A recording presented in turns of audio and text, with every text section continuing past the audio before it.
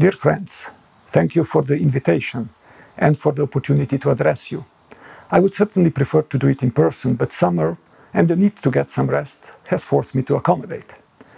Let me begin by putting the discussion in a broader context. It all starts with the understanding that for the first time in human history, we face the emergence of a single, tightly coupled human socio-ecological system of planetary scope. We are more interconnected and interdependent than ever, and our individual and collective responsibility has enormously increased. According to a recent Dasgupta review, our unsustainable engagement with nature can be traced to institutional failure and the failure of contemporary economics to acknowledge that we are embedded with nature and not external to it. So, for the beginning, it would be good to acknowledge that we humans are part of nature and start behaving accordingly. Why it is so important to focus on natural resource management? Natural resources are the bridge connecting drivers and pressures to the impacts and consequences. Natural resources are the basis for our whole economy and life, and at the same time, their use is the cause of all environmental impacts that are also threatening our health. In short, they connect everything. According to International Resource Panel, extraction and processing of natural resource materials, including metals, minerals, fossil fuels, and biomass, causes around 90% of land-related biodiversity loss and water stress, 50% of global climate change, and one-third of global air pollution. The global material demand is projected to double by 2060 if current trends would continue. In no way we can decarbonize all that production, make our economies and societies sustainable without massive trade-offs. Therefore, the only realistic chance for reaching our 2030 and 2050 targets is to deploy all measures possible to address this likely potential increase. While we strive to improve our well-being, we must reduce the need for additional virgin natural resources as much as we can. We must decouple well-being and economic growth from natural resources use and environmental impacts. Important for all, urgent for high-income countries. There are many reasons why this is not yet the case, but one big reason is the pervasive notion that growth in well-being is connected to the growth in production and consumption measured by GDP. The idea of creating an economy that serves people with a function but produces less in quantity is still taboo in many boardrooms as well as at ministries. We should stop giving producers the signals that destroying natural capital is free of charge, and we should stop confusing consumers by asking them to behave responsibly but requesting to pay more if they do so. Also, when it comes to healthier and more environmentally friendly produced food. I would be first claiming that nature has intrinsic value, but we must respect and protect. But until as nicely put by Professor Stiglitz, invisible hand will often be invisible, since it is often not there. This is in the very words of the famous Finnish writer Arto Paasilinna, a charming mass suicide orchestrated by the invisible hand of markets. What would this mean in policy terms? Redefining consumption from owing to using. Redefining production from mass sales to providing efficient functionalities redefining core economic incentives, such as taxation and subsidies.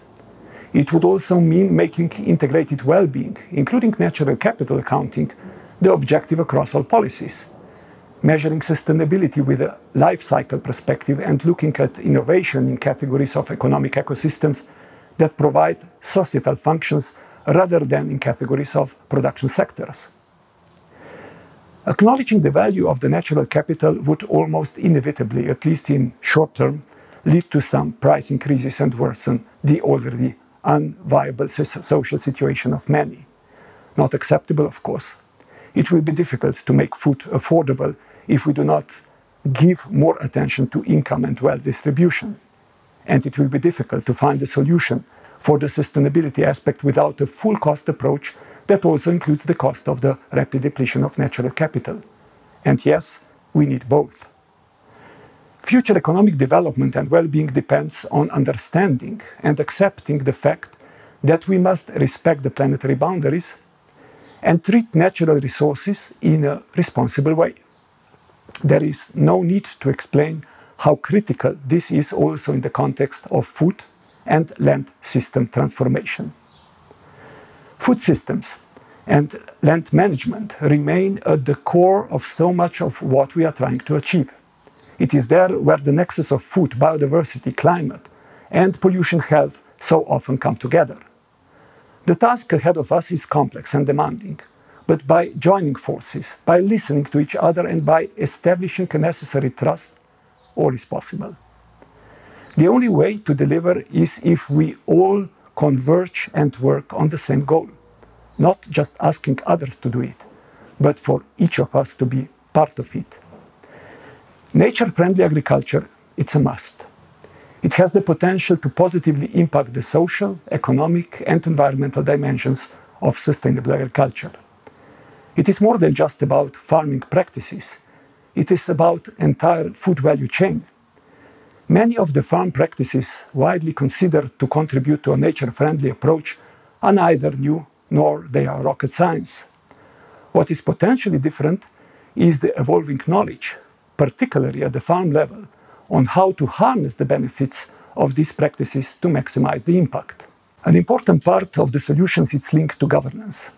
I know from my own experience that the difficult reality for policymakers responsible for the environment is that they have the responsibility for solving the problems, while the tools for solving them are mostly not in their hands. They depend on effective solutions coming from other policy related colleagues as well as from private sector players. Agriculture belongs among areas with high environmental impacts. Only by bringing the table together those in charge of solving the problems with those responsible for creating the pressures and in need for a change can we develop effective joint vision, joint targets, joint policy pathways, and joint responsibility for the success of the needed transition more environmentally friendly, but also economically and socially feasible and attractive for all the food-related players, farmers in particular. Good policy making, it's always a two-way street. The science shows very clearly that the greatest risks for food security come from the climate crisis and the biodiversity crisis. Combined, the fate of farmers and food security are to a large extent dependent on our relation to the environment. There is a high level of agreement that the transition to a more sustainable society and economy is unavoidable. But ultimately, it will be about the speed and scale of that transition. It will be about addressing the drivers and pressures that cause the challenges we are facing, and it will be about providing further systemic perspective to guide decision making. We should start with meeting human needs rather than from the overuse and underutilization of natural resourcing, chasing higher production growth rates and the logic of putting more products on the markets, regardless of the price we are collectively paying. We are in a race against time.